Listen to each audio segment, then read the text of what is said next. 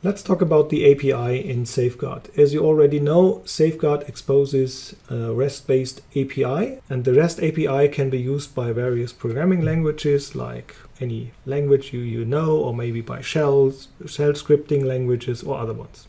And we have a nice little feature inside Safeguard that we expose this API via the Swagger interface that it can be used inside the browser. I'm going to come back to this in a couple of seconds. First of all, uh, I want to show you a little use case about this. And in this case, I'm to go for the licensing module. And if I go to the settings page in Safeguard and click on the licensing module here, it displays um, the current status of the appliance in terms of the license. And in this case, you have two licenses installed, one for the password management and one for the session module. Okay, pretty easy. So how to achieve this with the API? To get access to the API, you're gonna call the API just in a simple browser with the URL shown above. And before you can do anything or you may have uh, or you, you, may need some kind of authorization it is very wise to click on this authorize button here. Click in log in with a standard username. Here we go.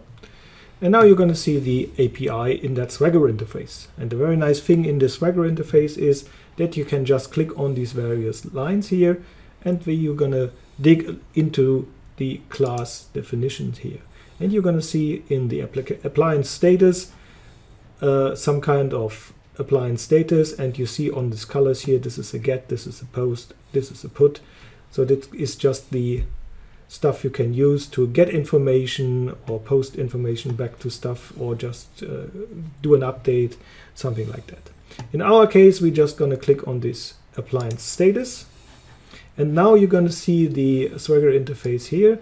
It shows you some example stuff here that is whatever how the how the response usually is structured.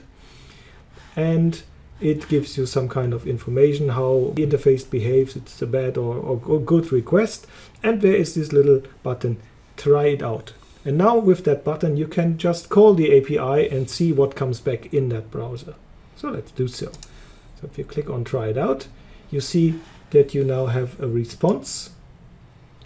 And first of all, you see some kind of example how to call the API using curl. It's a nice little tool. Here's the request URL you, you're going to point this URL to. And here is the response that came back from the system.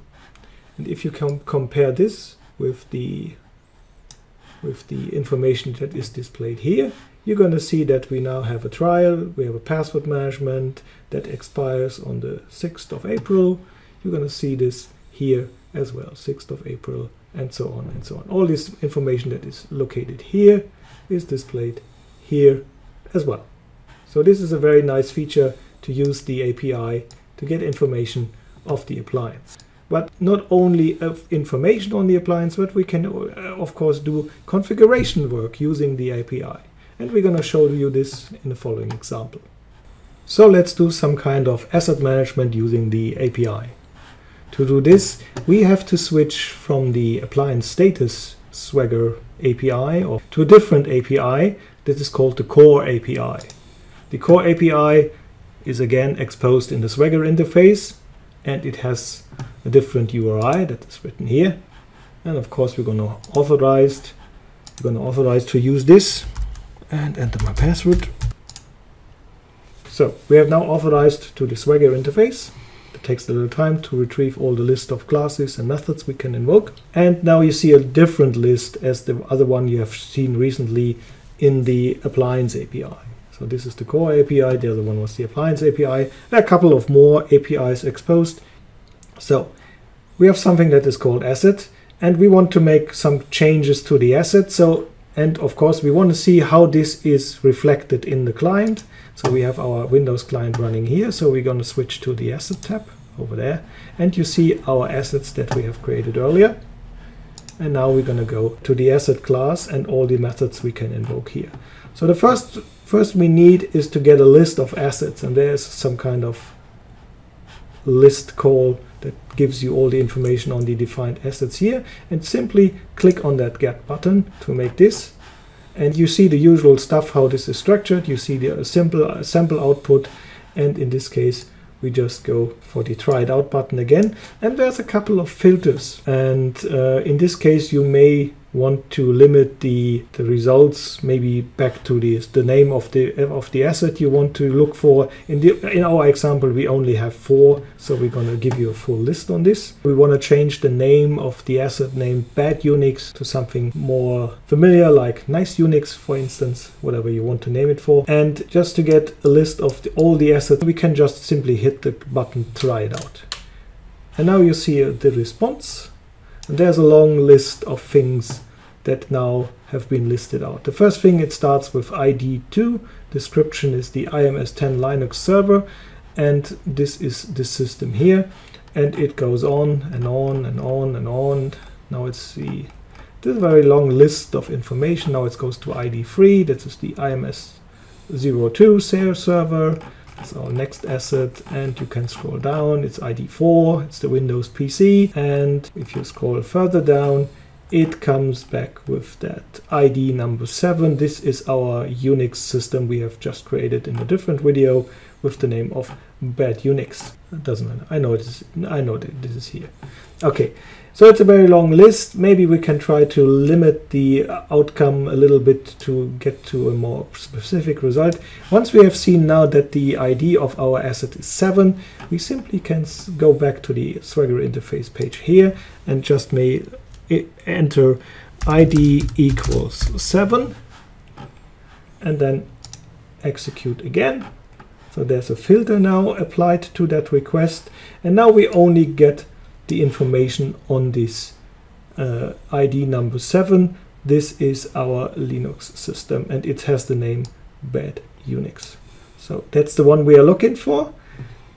I now gonna copy all this response information to, into my copy buffer and now I'm gonna close this API class because I will not use this because now I want to do an update and now I want to use this one here to create, to update an asset. Because now I know my asset has the ID number 7. I'm to go to this put method here.